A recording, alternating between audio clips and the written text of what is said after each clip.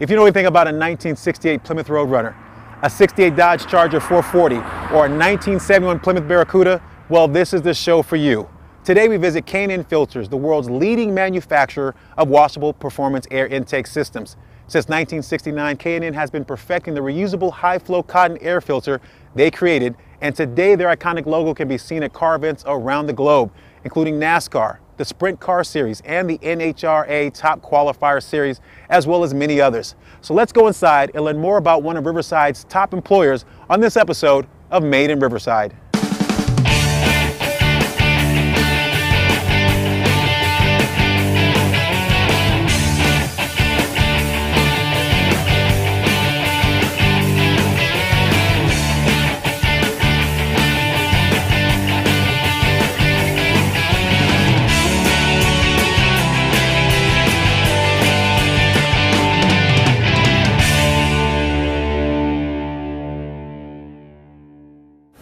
Hi, Greg. Hey. Welcome to K&N. Hey, Kev. Glad Thanks you guys Really could make it out. Really appreciate it. Really excited to have Made in Riverside here. Thank you. We really want to show you all the different ins and outs of putting together an air filter. So And this is where it begins, right this here. is exactly where it begins. We're here in our pleating area, and as you can see behind us here, the raw material comes in. We have the the screen and the cotton gauze that makes up our air filters. And then in front of us here, we have a pleating station. And what we're doing right here is we have two layers of screen, one on each side, and we have four layers of cotton. So it's a four-ply cotton filter.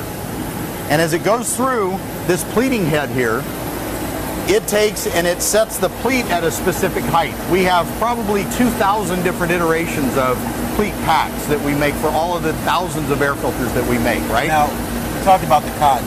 yes. Why is cotton so significant for K&N, and what's the difference between that and the competitors out there? Well, most of the competitors use basically cellulose, paper elements, right? What's good about cotton is it's washable and reusable. It's a lifetime filter. You buy it once, you service it, you wash it, you put it back in your vehicle. Doesn't go in the landfill. We're able to get a million miles out of the filter, right? But it gives you tremendous airflow, performance increase, and sometimes you get a slight fuel economy increase. So all those are good things. So good for the environment and the car. Absolutely, absolutely. So, like I said here, we have the pleating head, which actually then forms the pleat, right? So we have a specific height pleat here. It's about 7 eighths of an inch, right? And it moves down here, and as it goes through, it goes to what's a slitting operation.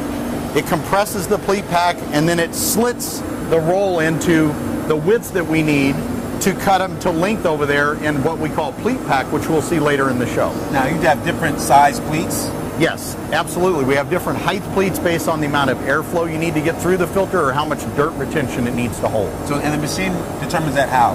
By the, the size of the teeth that are in that pleating machine. In the pleat height, it actually goes across and it pleats the material together as it folds it.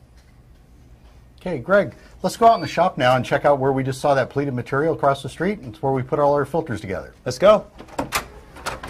Good deal. Well, Greg, what we have here is a, what we call a roll-up. This is what came off the pleated machine you saw across the street. And this is a co-pleated. It's got screen on each side. It's really just aluminum powder-coated screen like you would have on your screens on your window. Very, very durable. And, and four layers of cotton gauze material. The cotton gauze that's in the middle between the co-pleated screen is the actual filtration media. That's what stops the dirt, and that's what gives you such uh, airflow potential is the dry cotton media. And this is a secret to K&N success That right is here. the secret to K&N success. K&N filters were invented in 1969 by Ken and Norm, K&N. Right. And they were using them on motorcycles that they rented on the beach. And after a day, the filters would be plugged up, the engines would stop running. So they had to come up with a way to wash filters, reuse them. They couldn't take and put brand new filters on them every day.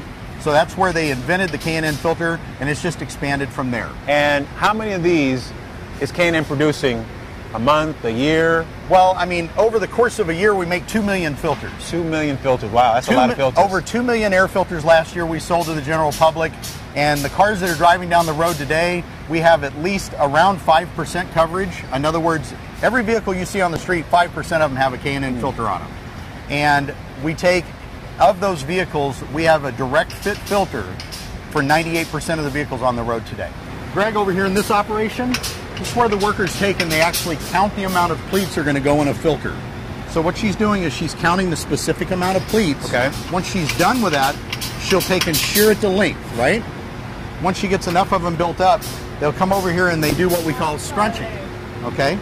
And she takes and pulls it and sets it. And that's how compressed we want that filter when they take and put it into the mold to make a filter, right? So when you set it in there, that's the size it's going to be. It's not going to expand at all. That's correct. The operator over there may take and expand it slightly to make it fit the mold appropriately.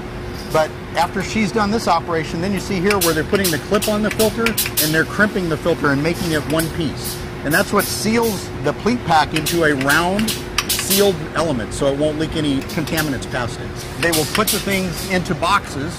It'll get put away in our three-story pick module behind us. And then when the system needs to build a filter, it'll pick that material and bring it down to one of the urethane carousels. So why don't we go see how we put filters together? Let's do it. We're right now at a urethane carousel. We call these machines carousel. This is a 12 station carousel. And we make all the equipment and we make all the tooling here on site. We design everything ourselves. There's really not, there's, you could pay someone to make the equipment, but in the way of design, it's pretty much up to us how we want our filters to be made. So filters are made here. Mm-hmm. The, the molds are made here. Yes, the sir. equipment that Yep. the everything is on is made right here. That's right. On site. Yes, sir. Designed and made. What you see here is where they're injecting the urethane right into the cavity of the mold, right? And what they'll do is once the urethane is in there, they're setting the pleated material down into the mold. And once that's done, you see it's already gone around once and it's got the urethane on the top side. Right. Now he's getting ready to do that operation of what you saw him load. Okay. So we never lose a rotation. So each mold takes a specific amount of urethane. Each mold must run at a specific temperature so it cures at the right rate. And so he loaded here. You have a, a woman over here that's unloading a filter that's finished, and then you have a trimmer. And so they're inspecting the filter and they're trimming any of the flashing off the filter. And from here, where does it go? Well, once it's trimmed and inspected, it will go back into a tote, and our business management system will run it all through the plant to its